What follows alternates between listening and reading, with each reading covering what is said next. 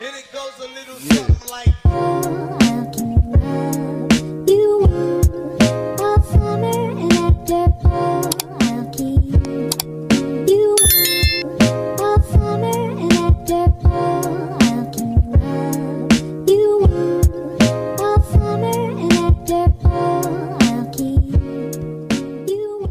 welcome or welcome back to my channel so today i will be so today i will be showing you guys on how um, you can make a neon within four to five days.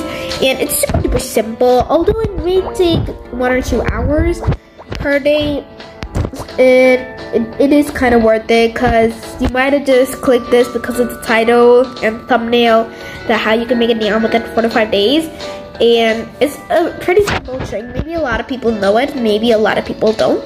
So I don't know. Maybe 50% knows it and 50% doesn't know it. So I'm just doing it for the 50% that doesn't know it, but don't know it.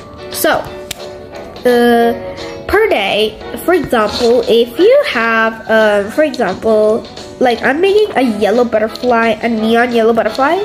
So first of all, you can age them up with numbers and per day you full grown you can full grow one of the butterflies.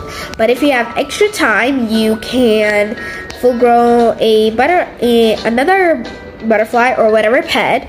So the pet that you're making per day you can make the pet per day you can make the pet full grown. So so yeah so basically what you have to do is per day you have to full grow one of the pet.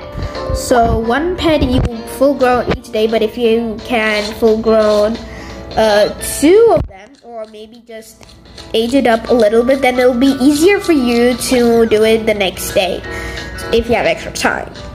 So that way per day you can full grow one day uh, one uh, uh, one of the pet and then easy peasy lemon squeezy then by four or five day, uh, days by per day two hours or one or two hours. If you have a lot of tasks then it might take one hour. But if you have kind of less task it might task it might take two hours. So per day you can spend one or two hours to full grown it and that way since you need only four to make a neon that will take four or five days. So that's all for today. Thank you so much for watching. Hope this helped and bye